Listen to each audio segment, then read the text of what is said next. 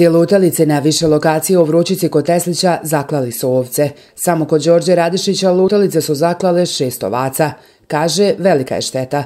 I to nije prvi put. Sa psima lutalicama u tom mjestu, poručuje, konstantno imaju problema. Ja došao, nema nigdje nijedne. I onda kad sam došao gore, sve krvave. I zvao ja Milenka, kaže, zovu komunalnu inspekciju trebala doći, nije došla. Ja čitav dan bio kod kuće. I ništa, pojel vuk magarca i samo eto što su zaštićeni skitnice bolje nek čovjek. I neću, šta ću, ne, ne treba mi, samo neću, sam da ja ozdravim. Isto priča i njegov komšija Mišo Kovačević. Kaže kap je prelila čašu. Godinama muku muče sa problemom pasa lutalica koji domaćinima u selu nanose značajnu materijalnu štetu. Bore se kaže da nešto zarade, ovce budu u ogradi i o njima vodi računa. Sve to ipak nije dovoljno da bi ih i zaštitili.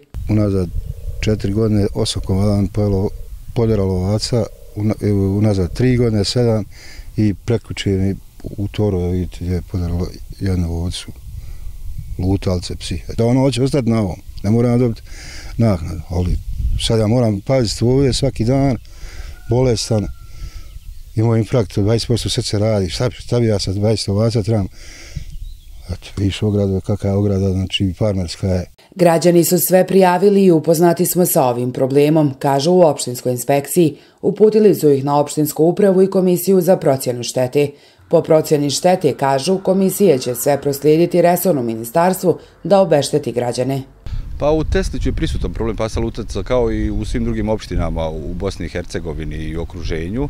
Naša opštinska uprava se suočava sa tim problemom u zakonskim okvirima. E, potpisali smo ugovor, opštinska uprava je potpisala ugovor e, sa higijeničarskom službom e, koja uklanja, hvata i izbrinjava napuštene životinje tako kako kažemo, pse lutalice. Mještani Vrućice poručuju da sve to ipak nije dovoljno. Traže da se o ovom problemu više povede računa.